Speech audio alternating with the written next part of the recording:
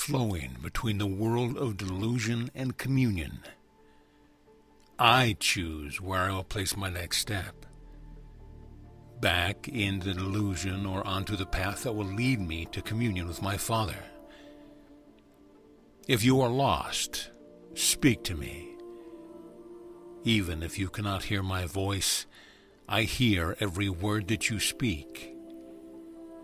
Even if you cannot feel my presence, know that I am right beside you, and that you are held in the everlasting arms of the mother's love.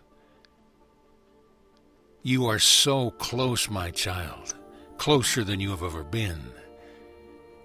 Your journey's end is preordained, but the path you take home is your choice. For I have given you the will that is free and knows no bounds.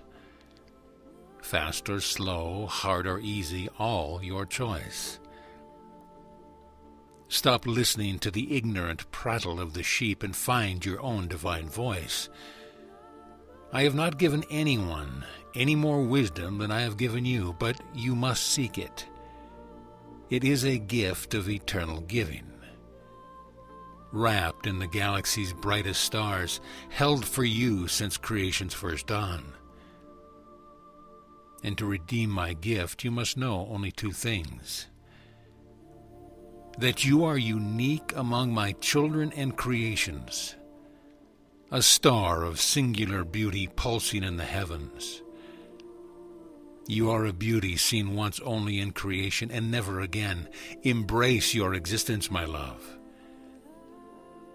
And to know that you are loved, a love that you cannot yet comprehend but will fully embrace upon return to your Father's house. You stand alone in the expanse and beauty of the earth, a singular creation enshrouded in love, beginning the process that will bring you back to me. Stay true to your path, my child. I wait to embrace you in my loving arms as your mother prepares a place for you in our mansion. The angels sing with joy. The legions prepare the way, and as dusk begins to fall, you will be home. Father, it has been written in the ethers, and so it shall be. Amen.